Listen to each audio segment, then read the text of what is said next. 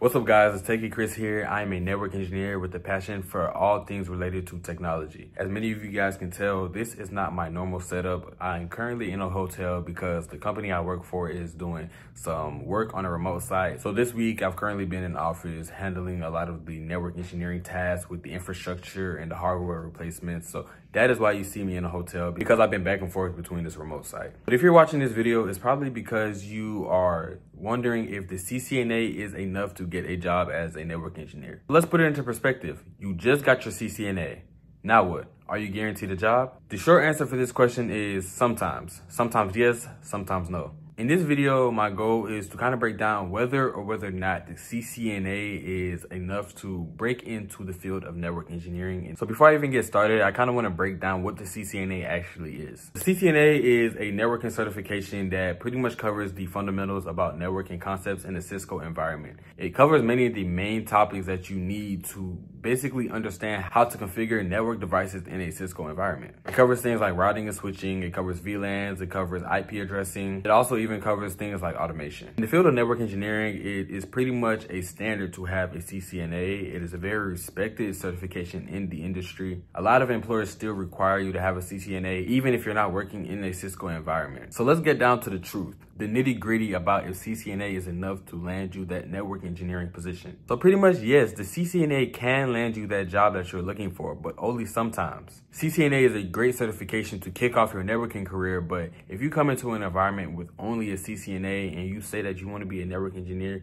they might look at you and laugh. The reason for this is because network engineers actually spend a lot of time learning how to manage networks in a live environment having a CCNA gives you great knowledge behind what happens with networking, but having just a CCNA won't give you that knowledge of how to fix something when it's 3 a.m. during a maintenance window, something is broken, and the whole network depends on you to bring it back up before business operations start again. Though it is possible to get that network engineering position with just a CCNA and also some labbing, some positions that will be easier for you to get with just a CCNA are things like a NOC technician, things like IT support with a networking focus. Also working as a network technician is another great way to get in the field of networking with just your CCNA. Network admin positions also usually are lighter when it comes to the requirements of experience and a CCNA can oftentimes get you into that network admin position.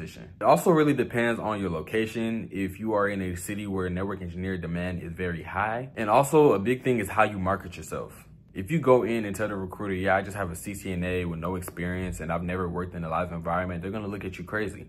But if you tell them that you have a CCNA and you have done XYZ projects, have set up this home lab, you're on social media teaching CCNA concepts to people, they may look at you a little bit different rather than someone who just has the CCNA certificate and has never done anything else a day in their life. You need to make sure that your resume looks great and you need to make sure that you are marketing yourself like a network engineer. CCNA is going to be that ticket in the door, but it's not going to be the key of the city that's going to open up every single door for you. You also have to put in the personal work yourself to achieve those roles that you're looking for. When I first got my CCNA, I was able to move into a network engineering role pretty easily. And the reason for that was because I was doing a lot of labbing. I also had experience working in lower tier positions like working in the IT help desk and also working as a network administrator. CCNA is still definitely worth it because without the CCNA and had I had just done that IT help desk position, I don't think I would have got the position that I am in now without my CCNA. But that wasn't the case because I did have my CCNA, so I can't really speak too much on what would have happened if I didn't have my CCNA. But if you're trying to break into network engineering and you want to really know what employers are looking for, I'm going to list a couple things that I believe employers are always looking for when it comes to hiring those network engineers to be frank with you, having the certifications is honestly just one part of the process of hiring and becoming a network engineer. You need to have that hands-on experience, whether it be working in a NOC, like I said, working as a network technician, a network admin, IT help desk, and digging into those network protocols sometimes, or even just having set up a home lab. Like I said earlier in this video, that is what employers are looking for. And apart from the technical skills, you really need to have the soft skills down. You need to be able to speak and speak very effectively. You need to be very articulate in how you talk to your coworkers, how you talk to recruiters, and how you talk about things that happen on a network. Users can ask you about why their phone is acting weird and you start talking about QoS, bandwidth, and jitter. You need to have those social cues and those communication skills in general just to dumb things down to help the end users understand you.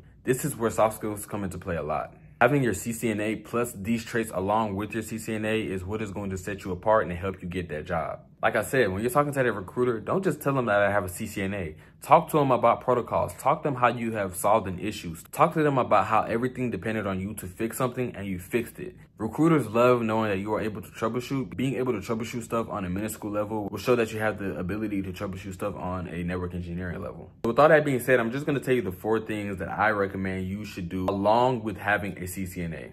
Number one, home lab experience. Make a physical lab or get something in Packet Tracer, GNS3, EVE-NG, or any other network emulators slash simulators. Number two, make a personal website. If you guys go to my website, www.techychris.com, you will see my website and see how I market myself as a network engineer. Having a personal website will help recruiters see that you are a serious person and also see that you are actually trying to make it into this field. Number three, make sure that you guys are working on your soft skills and doing a lot of interview prep. Soft skills are what are going to make you in this field. Being able to talk about your ideas efficiently and effectively are going to set you apart from a lot of other people who are just technically savvy and don't really know how to communicate their ideas. Yeah, guys, so that's kind of my short take on if I believe CCNA is enough to get a network engineering job. Like I said, sometimes it can't be, sometimes it can't be.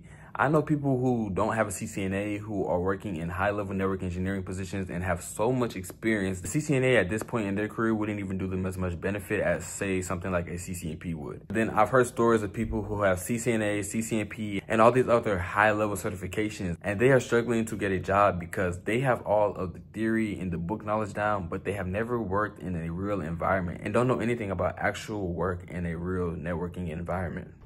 What's up guys? So as I was editing my video, I realized the last portion of my video got cut off. So I just wanted to come here and end off the video for you guys.